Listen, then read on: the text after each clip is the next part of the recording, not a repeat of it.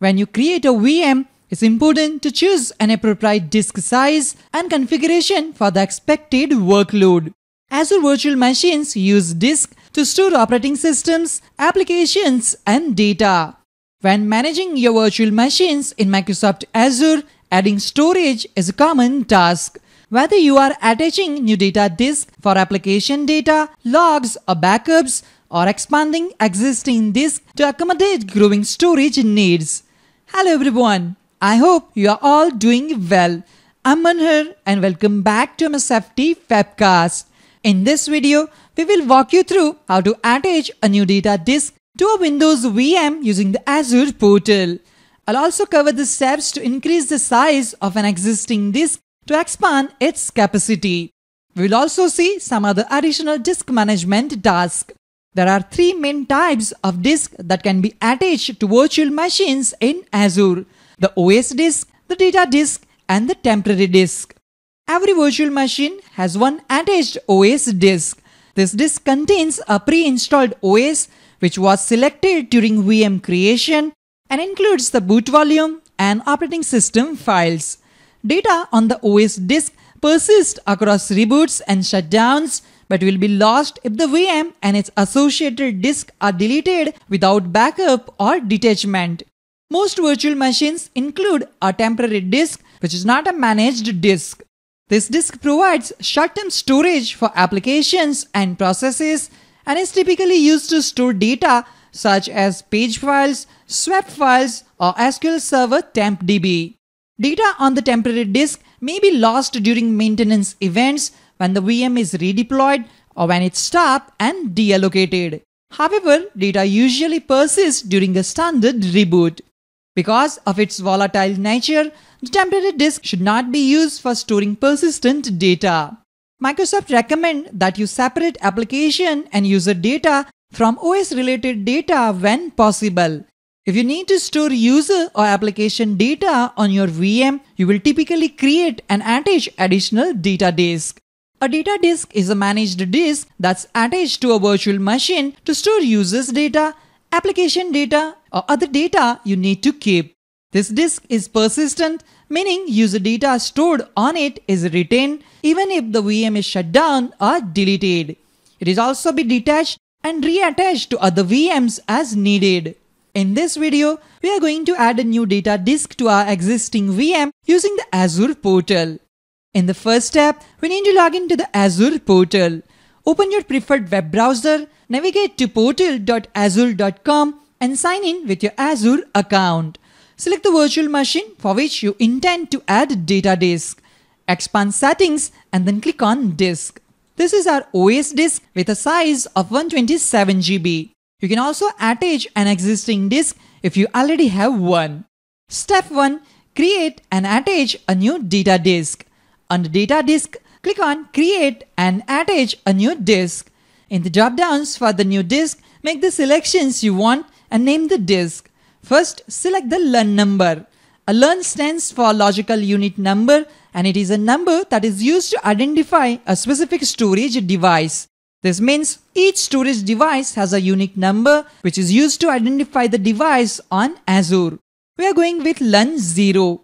Now enter a name for your data disk. I have given name ws22-test2em01-data disk 01. Now select the disk type for the data disk. Choose either standard HDD, SSD or premium SSD depending on your needs. For a cost perspective, choose the standard option. If your VM requires higher performance due to heavy disk usage, consider selecting a premium SSD for faster I.O. In this example, I'll go with Premium SSD locally redundant storage type. Now specify the disk space for the data disk. In this example, I'm going to specify the size to 10 GB.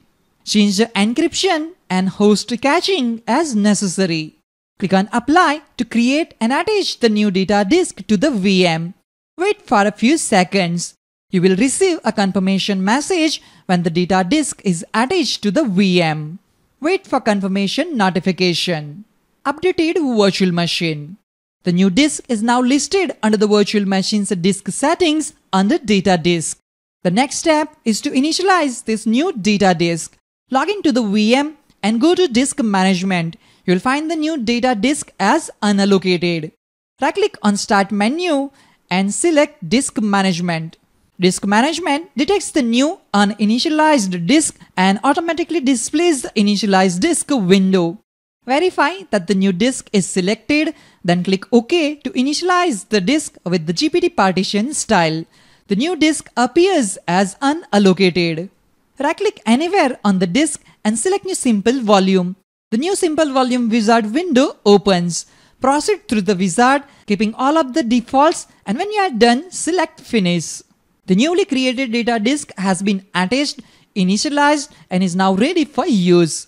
Go to File Explorer. Verify that volume E is present and has a size of 10 GB. Step 2. Resize the existing data disk. Next, let's see how we can increase the size of an existing disk. You can expand data disk without deallocating your VM. Let's go back to the Azure portal. Go to the VM where you want to expand the disk. Go back to your VM's disk section. Under disk name, select the data disk you want to resize. This opens the disk overview page. Under settings, select size plus performance. Select the disk size that you want. The new disk size must be greater than the current disk size. Also keep in mind that shrinking an existing disk is not supported and may result in data loss. You can also specify the value in the custom disk size field. For example, if you want to increase the disk size to 20 GB, you can specify the value 20 in the custom disk size field. Also select the performance tier as required. For this example, let's set the custom value to 20 GB and click the save button to complete the process. Updating the disk. Wait for the confirmation notification to appear. You can see the confirmation successfully updated data disk. Go back to VM, click on refresh. In this example, the disk size was increased from 10 GB to 20 GB. Log into the VM and open the disk management. The existing data disk now shows unallocated space. Right-click an existing E drive partition and select Extend Volume. Click Next until you reach the end, then click Finish. Confirm that the partition size has been updated to 20 GB. Go back to File Explorer, right-click and select Refresh. Verify that the volume E is present and has a size of 20 GB. To expand the OS disk, you must deallocate your VM. You cannot increase the OS disk size while the VM is running. Let's go back to the Azure portal. Step 3. How to detach the data disk. Next, let's see how we can detach the data disk from the VM. Go to the VM where you want to detach the disk. Go back to your VM's disk section. Under data disk, click the detach icon to remove the data disk from the VM. Click apply to save the changes. Wait for the confirmation notification to appear. The data disk has been successfully removed from the VM, but it has not been deleted. You can attach this existing data disk to any VM when needed. To do this, under data disk, click on attach existing disk. From the drop-down menu, select the data disk which you want to attach to your VM. Let's click on Discard Changes. Step 4. How to delete existing disk. Click on Virtual Machines. Expand disk plus images and then click on disk. Click on the disk which you want to delete. At top bar, click on delete. In the confirmation pop-up, click delete to permanently remove the selected data disk. Wait for the confirmation notification to appear the data disk has been deleted successfully. The process of attaching, resizing, detaching, or deleting a data disk in Azure is simple and straightforward. That's all for this video on how to create and manage a disk in Azure. I hope you found this video helpful and informative.